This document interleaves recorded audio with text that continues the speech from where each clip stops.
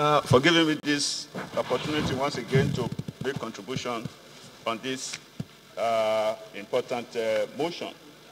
And uh, I quite I commend the mover of the motion. I don't expect otherwise. He's proven to be a good representative of his people.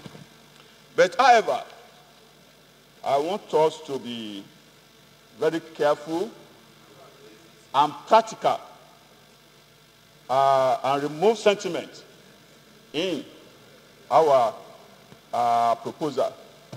And uh, whatever motion that we pass in this house, uh, we should be mindful of the ability of the concerned agency organization to carry out our resolution. Uh, in the case of the oil, uh, international, multinational oil companies operating in Nigeria, um, if you look at their operational peculiarities, drilling activity constitute a major component, no doubt about it, of their operation.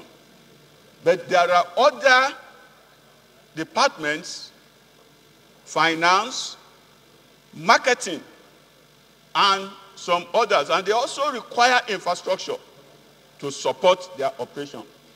And all these factors determine the location of their headquarters.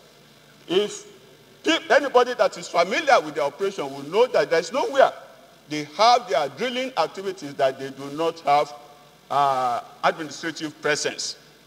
And what, rather than the requesting that the headquarters should be located where drilling activities are taking place, you know, I think we should get ourselves familiar with the local content bill, as earlier uh, mentioned, and also the NDDC Act, where they are, I mean, uh, by which they are expected to make contributions towards the uh, provision of infrastructure and other uh, uh, support uh, uh, services to their host communities. And I will also rather urge us, you know, to strengthen the instrument that will compel them to be alive to their social, corporate social uh, responsibilities.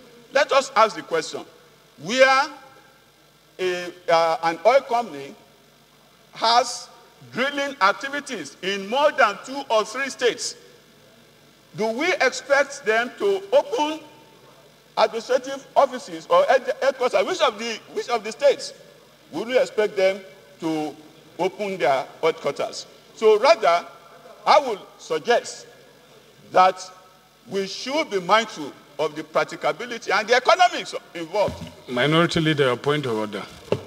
And after you are done, you approach the... Chair. Is that uh, we should be, we should consider to the IOCs, you know, in our, our resolution.